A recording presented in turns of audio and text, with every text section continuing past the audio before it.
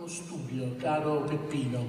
Mi sono chiesto come mai ad Amalfi si trovavano 20 famiglie ebrei. Infatti nel 1161 Beniamino da Toleda riferisce che ad Amalfi c'erano oltre 20 famiglie ebrei. Attenzione, una famiglia ebraica era formata da 5 persone in media, più aveva i garzoni, quindi c'erano 200-300 persone ebree.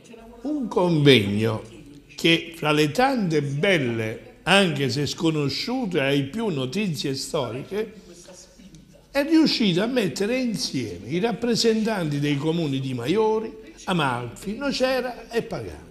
Ed in più c'era la rappresentanza dell'Associazione Nazionale e Provinciale Venditori Ambulanti, visto che il professore Aniello Ascolese, anima e coordinatore del convegno, in collegamento con il comune di Pagani, ha dato notizie sulla nascita del commercio che dal 1300 ha collegato i paesi della costa con quelli della valle del Sarno, che hanno diffuso le famose pezze pitturate e rese desiderate dalle donne già nel Medioevo, con tecniche naturali ma efficienti nel rendere le stoffe morbide e colorate.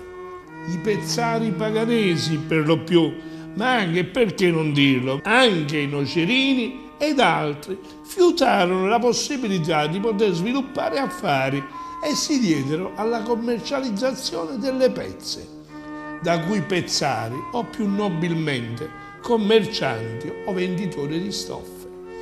Il convegno ha visto la partecipazione di amministratori, come dicevamo, di Maiori, Nocera Inferiore, Pagani, responsabili dell'Associazione Nazionale Venditori Ambulanti, rappresentanti provinciali e nazionali e tante le notizie esposte dal coordinatore del convegno Aniella Ascolese. Notizie su strade, luoghi e chiese dei pagani. In ultima analisi, un buon lavoro che potrà servire in seguito anche a proporre agli istituti scolastici locali uno studio ed una serie di ricerche sulla storia di Pagani, Nocera, dei luoghi storici che hanno fatto la storia dell'agro nocerino e dell'importanza che ha avuto il fiume Sarno quale via di collegamento e comunicazione. Le conclusioni di questo convegno, certamente positivo, sono state lasciate all'assessore di Pagani Pietro Sessa e al sindaco della città, avvocato Lello De Prisco, il quale si è augurato che queste ricerche non si fermino in questo punto, ma si vada avanti.